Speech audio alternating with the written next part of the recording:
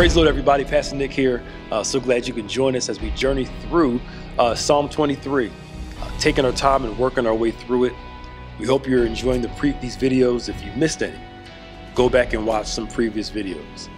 Uh, the last time we were here, we talked about how the shepherd uh, walks us through the process. And where's the shepherd leading us? He leads us beside the still waters. We talked about this a little before. He leads us to the still waters, a quiet place, a resting place, a peaceful place. The journey can be long sometimes. The journey can include struggle, but it's leading us to a place of peace. He leads us to peaceful, quiet places. For all the warfare and all the turmoil, God knows how to give us a moment of peace, a moment of a, a, uh, a break, a moment where God brings us into rest.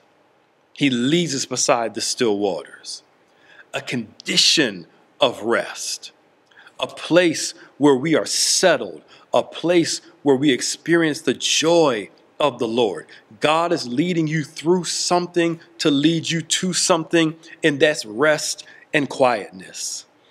And God knows how to bring you to a place of peace after a storm, a place of calm after the rages of the circumstances feel like they're overwhelmed. God knows how to bring us into a place of stillness. And here's the thing I love about Him not only will He bring you to a place of peace after the storm, He'll teach you how to have peace in the storm, stillness, a quietness, a respite, a Sabbath while you're in this thing.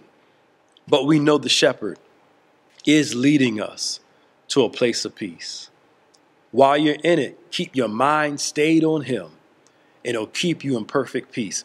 Rejoice in the Lord always. Pray, supplicate, lament, talk to God, and the peace of God that passes all understanding will guard your heart and your mind.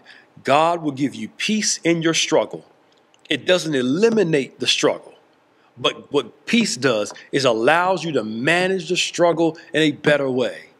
Peace doesn't always eliminate the anxiety, the fears, and the hardness of the season, but peace can give you a sense of calm while you're in it. And then God will lead you through that to lead you beside the still waters a place where you can drink from, calm and quiet. Why the still waters? Because the shepherd doesn't lead you to a place where the current is too strong for you to drink from. That when the sheep can dip its head down and drink from the waters, the current won't be so strong that it takes the sheep away. But God takes us by the still waters, a place where we can drink from, we can be blessed, we can provide, be provided for, and it not consume us. God knows how to give you a blessing in an arena that you can manage. He won't give you more than you can handle as it relates to this. God, don't give me something that I'm not prepared for. Don't lead me to something that I can't manage.